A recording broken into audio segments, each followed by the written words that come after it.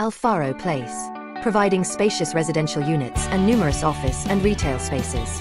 Building features includes retail and commercial establishments, a 24-hour security service, and a backup generator.